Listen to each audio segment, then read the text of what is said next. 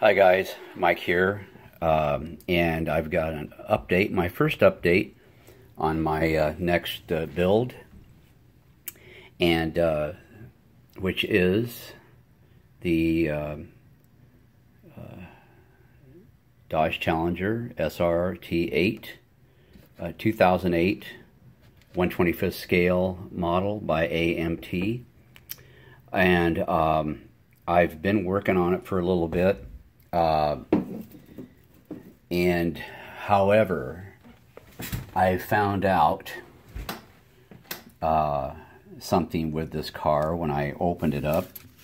It does not come with an engine. Uh, so uh, I wasn't prepared for that. If I would have known that, I probably would not have bought this model. But uh, however, uh, I have made some um, decisions on this.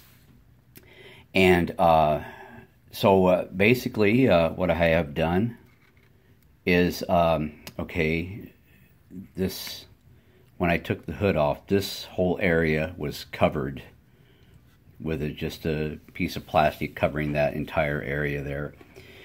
and um, so uh, I thought, okay, well, I'm not used to making a model without an engine, a car, you know, and so I thought, uh, gotta have an engine in here.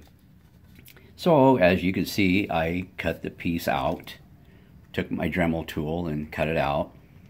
Um, and also, as you can see, I uh, cut the doors open, got the hinges on them and um, haven't even primed it yet, but I wanted to get the doors hinged on here before I did that. Uh, so anyway, as far as the engine is concerned, I have a lot of spare parts, and I found an engine part here in my uh, bag of tricks, and I um, I guess I'd already glued it together, but I, I went ahead and painted it and uh, but I wanted to make sure I had some other pieces, which I've got plenty of those. I've got uh, this. I could use this for my oil pan, or I could use that piece there. I'm not sure which models those came off of. And I'm thinking about using this for the uh, the top, the air breather cover.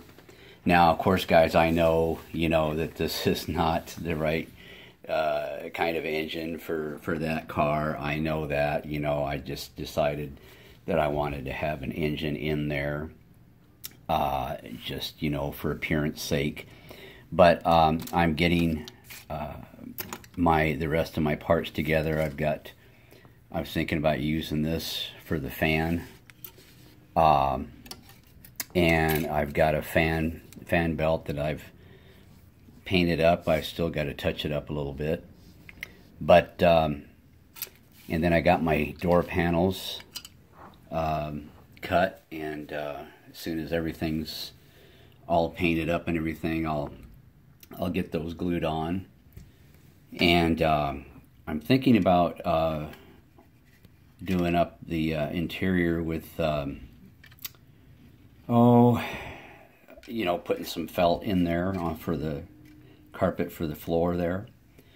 The uh, seats was interesting. They came in uh, like a black, um, kind of a black rubbery type of appearance there, which I could either paint or leave them as they are. I think I'll leave them the color they are, but I'm going to, you know, touch it up, trim, put some trim on there and snazz it up a bit.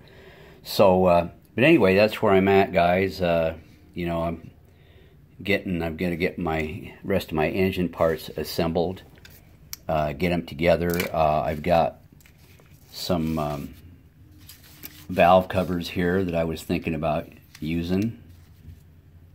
Uh, let's see, yeah, those will fit. And I've got an assortment of different um, uh, exhaust pipes that I could probably use if I wanted to, if the depending on if they'll fit in there. Uh, I've got these as a possibility. I've got this here. Uh, I don't. I'm going to have to search around and see if I can find the other, the piece for the other side of this here. for the exhaust pipe. But uh, anyway, guys, that's where I'm at with uh, with my Dodge 2008 Dodge Challenger, and um, I'll keep you updated on uh, you know the rest of my build with it, and uh, take it from there. So uh, you guys have a great rest of your Monday, and we'll talk to you later. God bless all of you.